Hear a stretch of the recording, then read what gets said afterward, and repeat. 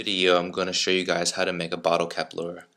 So some things you'll need are split shots, two split shots, one split ring, uh, a nail, a barrel swivel with um, one of these snaps on it, your bottle cap, uh, your hook, and I like to use treble hooks for this, but you can use whatever type of hook you want, um, some pliers, and a hammer.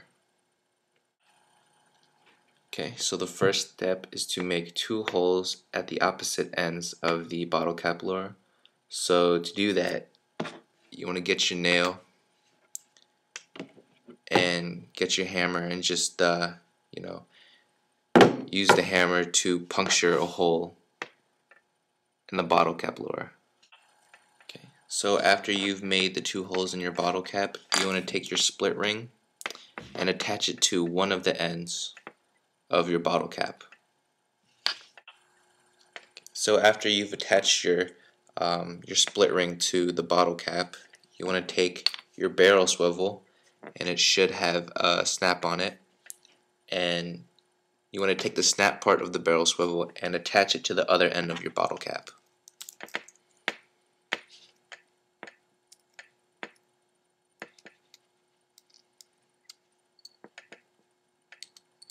Okay, so now it should look something like this. And then the next step is to actually bend your bottle cap in half. So um, the easiest way I find to do it is you want to take your pliers, take the end with the um, with the split ring on it, and actually bend it outwards like that. And then you want to do the same thing with the end with the barrel swivel. So you want to take it and bend it outwards. And it should end up looking something like this. After you do that, you want to uh, you want to bend your bottle cap in half. But before you close it all the way, you want to take your two split uh, your split shot weights and put them in the bottle cap, and then close it all the way.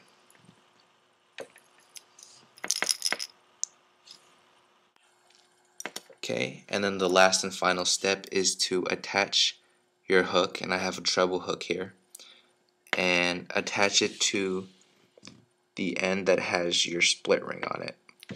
Okay, so your bottle cap lure should, should look something like this. Um, your barrel swivel, your bottle cap with two split shots in it, your split ring, and then your hook at the other end. Okay, and then you attach your line to the barrel swivel. There you go. That is how you make a bottle cap lure. Better than the first one. See if I can just, there you go. Nice fish. As you guys can see, barely hooked this guy.